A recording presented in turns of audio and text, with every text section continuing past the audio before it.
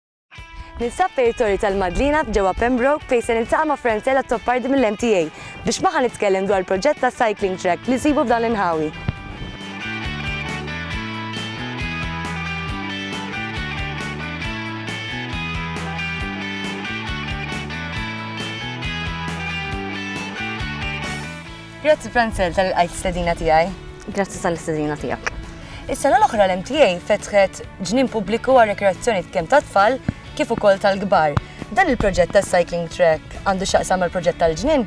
Iva, fil-fatt dan il-proġett mhux qed isir f'iżolament imma huwa parti minn proġett akbar ta' kważi 21 miljun euro li huwa kun ikkonfinanzjat mill-Unjoni Ewropea li fosthom jinkludu l-proġett ta' San Pawl il-Baħar, il-Promenade, il-Ġnien ta' Pembroke kif semmejt inti stess, il-restawr tal-Winja Court Tower ġewwa San Pawl il-Baħar u kif ukoll l-aquarium li ħajinfetaħ fix-xhur li ġejjin li qiegħed fil-Ponta tal-Qawra.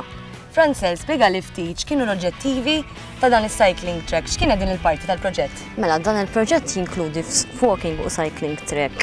kif ukoll fir-restawr tal-Madlena tat-Torri tal-Madlena. Din il-walking cycle trek qiegħda ġo Natura 2000 site li hija kbira ta' madwar 100,000 metru kwadru u s-cycling trek taqgħad it-torri flimkien mal-ġnien ta' Pembroke.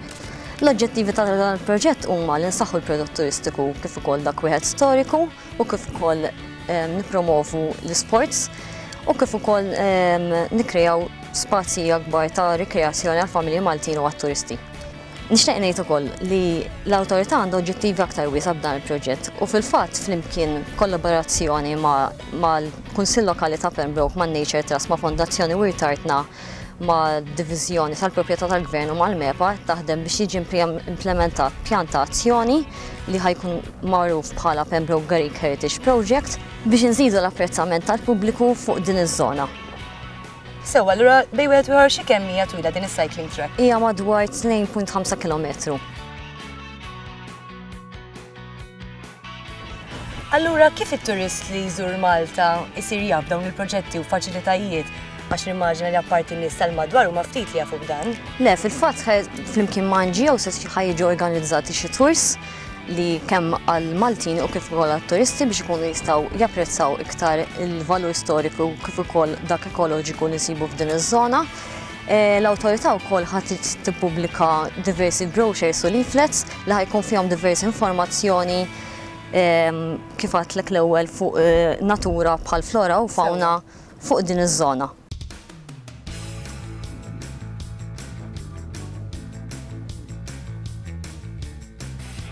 Dan immaġina ma kienx sempliċiment it-tqejjid tal-konkos fuq l-arċari, iżda kien hemm l-aspett ambjentali wkoll u xekk. Iwa ħafna fil-fatt l-awtorità kellha proċess twil ta' konsultazzjoni ma' l-awtoritajiet ambjentali ta' Malta.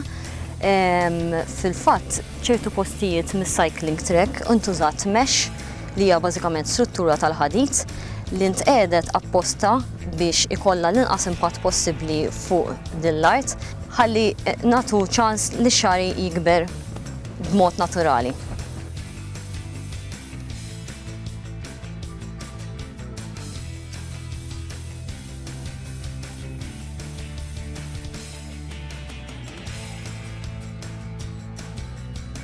Apparti trejqak, sar xi xogħol ta' restawr fuq xi bini storiku fl-inħawi?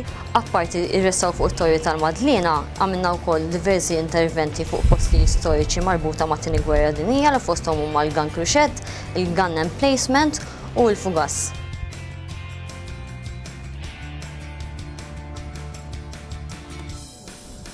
Ħa jsir xi ħaġa biex jintnaqqas il-vandaliżmu?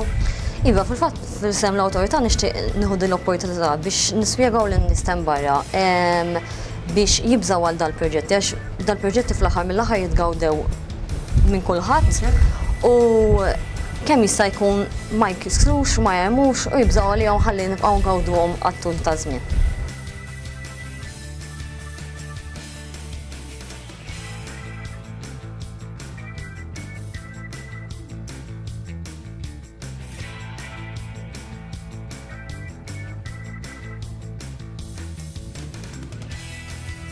Grazzi Franzel tal-ħin tiegħek u xogħol li tagħmel l-MTA. Naħseb ħafna nies japprezzaw dawn il-proġetti mhux biss it-turisti li jiġu jżuruna.